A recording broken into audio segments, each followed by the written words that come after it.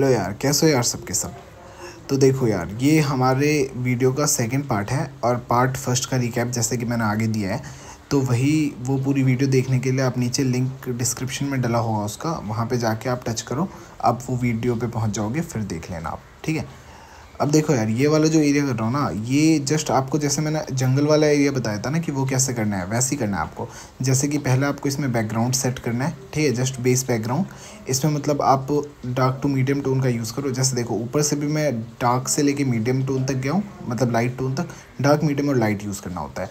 और नीचे से भी देखो येल्लो फिर उससे लाइट फिर उससे लाइट जाके टर्किश ब्लू और येलो दोनों को मिक्स कर दिया। तो आपको ये काम करना है। फिर उसके बाद देखो, आपको क्या करना है? नीचे से ना फिर बैकग्राउंड को देना है और इसके ऊपर चढ़ाना है, इस लेयर के ऊपर, ठीक है? देखो, जैसे येलो आ रही है ना उधर से तो येलो को खींच रहा हूँ मैं और ऑरेंज मिक्स कर रहा हूँ इधर से, देखो। तो ये बैकग्राउंड ऑरेंज इसलिए कर रहा हूँ मैं क्योंकि ये पूरे एरिया में आग लगा हुआ है। ये आपको मैं मतलब बताऊँगा अभी लास्ट में, ठीक है? तो देखो, ऐसे धुंधला धुंधला सा करना है। जैसे येलो से लाइन निकाल ली ना मैंने, वैसे।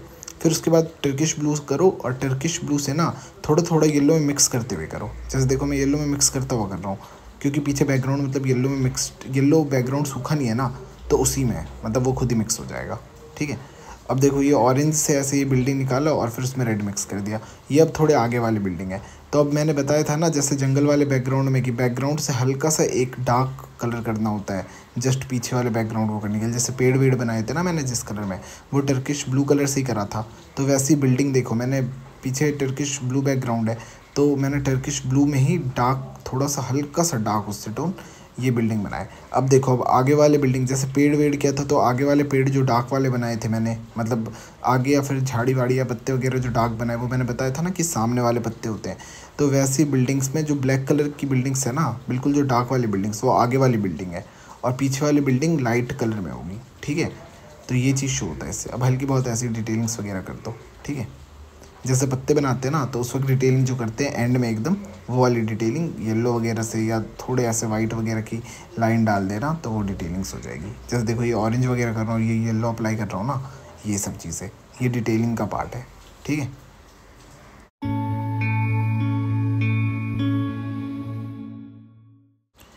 यार, एक तो ना बाहर बारिश हो रही है बहुत ज़्यादा तो अगर आवाज़ आ रही हो तो उसके लिए सॉरी ठीक है?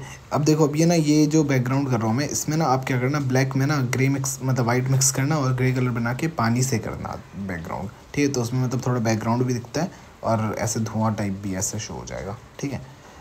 और ये ब्लैक वगैरह से हल्की डिटेलिंग करना और एंड में थोड़ा ऐसे डॉट डॉट टाइप डाल देना तो मतलब थोड़ा ऐसा लगेगा जैसे बिल्डिंग्स में लाइट जल रही है कहीं कहीं ठीक है? और बाकी तो बिल्कुल ही ख़त्म है।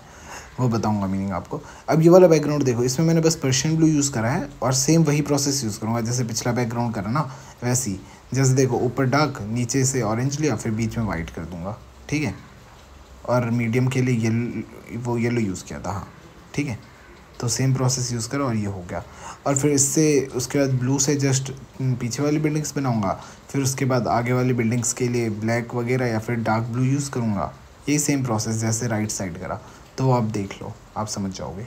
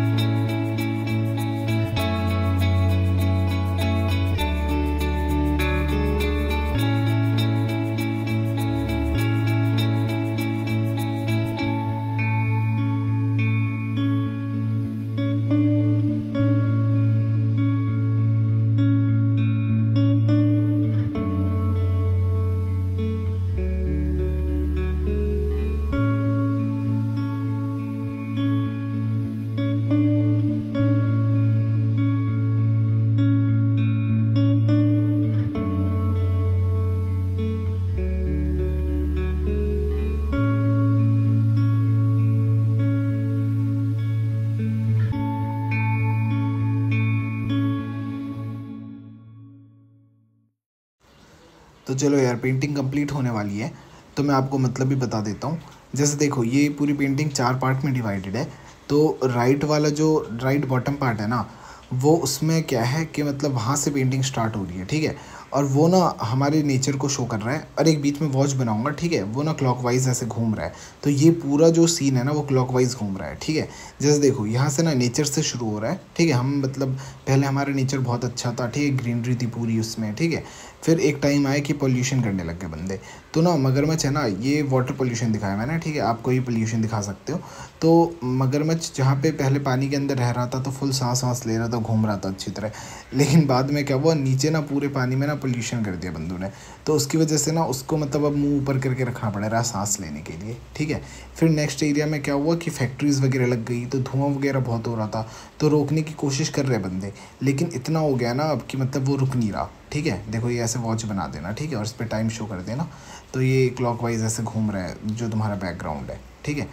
अब देखो उसके बाद नेक्स्ट जो लास्ट बैकग्राउंड है ना हमारा उसमें क्या शो हो रहा है कि ना मतलब तुम्हारे पास ना अब कुछ नहीं बचा, सब कुछ जल वल गया है, सब ख़त्म हो गया तो ये चीज़ शो हो। रहा है तो चलो यार पेंटिंग हो गई है फाइनली कंप्लीट पेंटिंग कैसी लगी कमेंट करके ज़रूर बताना मुझे। Thank you so much bye